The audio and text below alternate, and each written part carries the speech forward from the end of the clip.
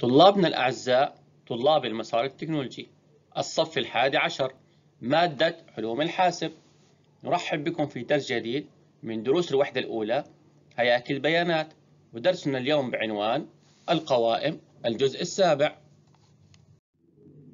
تعلمنا في الدروس السابقة تعريف القائمة الصيغة العامة لتعريف القائمة إنشاء قائمة مثال واحد واثنان وثلاثة. الوصول إلى عناصر القائمة. استخدام الدوال مع القوائم. وتعرفنا كذلك على المزيد من الدوال المستخدمة مع القائمة. وهذه الدوال هي دالة append ودالة remove واليوم سنتعرف على الدوال count sort reverse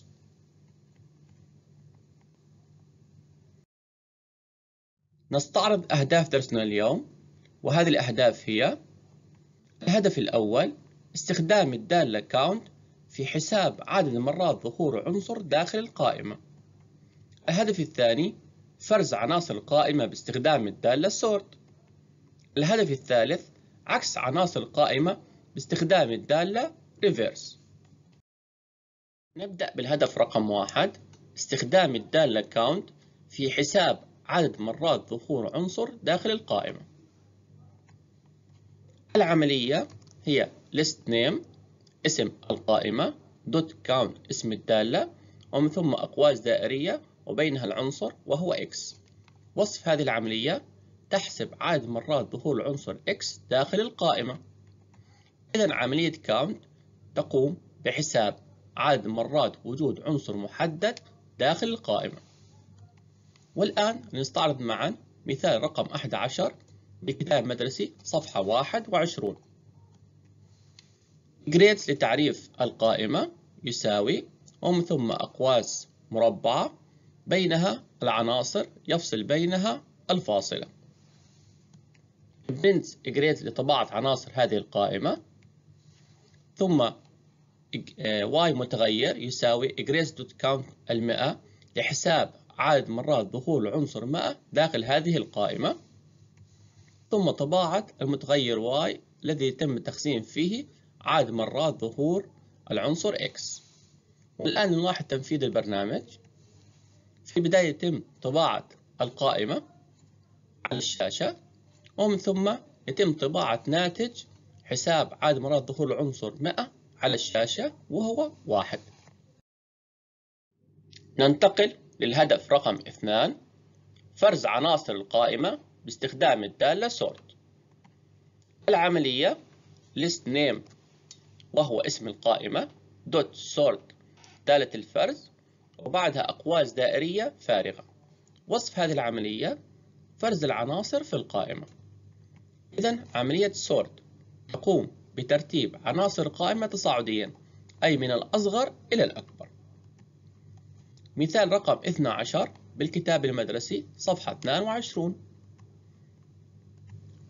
في البداية نقوم بتعريف قائمة باسم grades ثم بعد ذلك نقوم بطباعة عناصر هذه القائمة على الشاشة ثم يتم تطبيق دالة sort لفرز عناصر القائمة فرز تصاعدي وبعد ذلك نقوم بطباعة عناصر القائمة على الشاشة بعد إجراء عملية الفرز.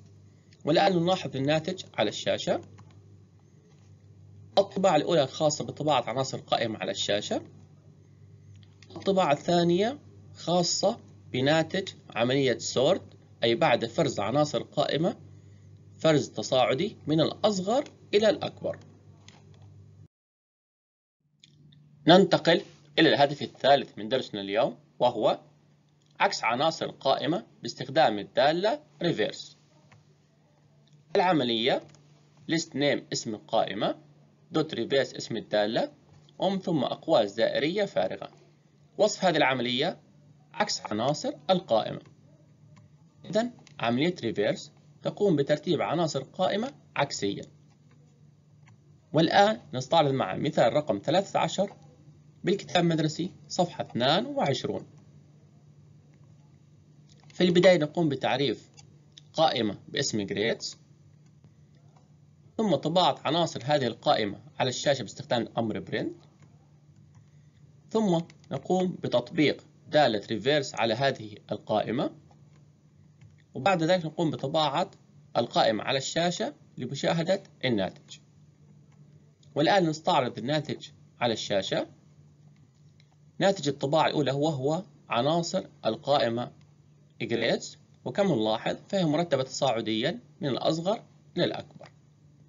ناتج الطباعة الثاني وهو ناتج طباعة القائمة بعد إجراء عملية عكس عناصر القائمة وكما نلاحظ؟ تم عكس العناصر حيث بدأت القائمة بالعنصر الأكبر انتهاء بالعنصر الأصغر.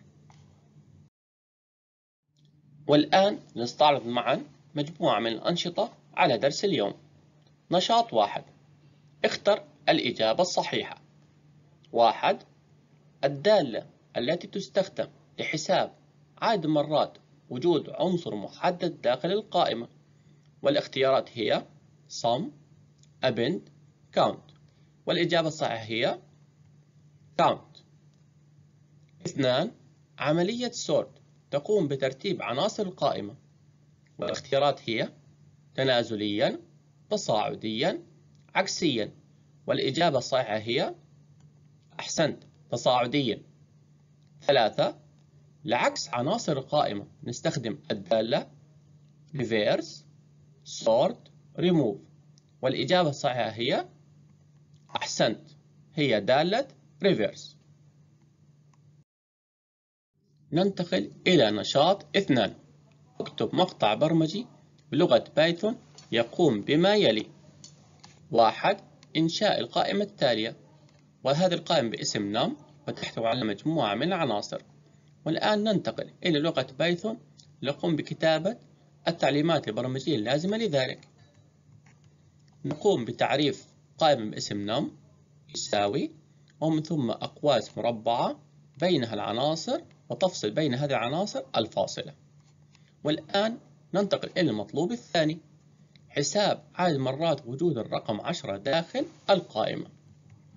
في البداية نقوم بتعريف متغير فلنفرض هذا المتغير باسم y يساوي num وهو اسم القائمة دوت count اسم الدالة اللازم لحساب عدد مرات وجود عنصر داخل القائمة ومن ثم العنصر وهو الرقم 10 ثم نقوم بطباعة ناتج الدالة count على الشاشة والآن إلى المطلوب الثالث ترتيب عناصر القائمة تنازليا.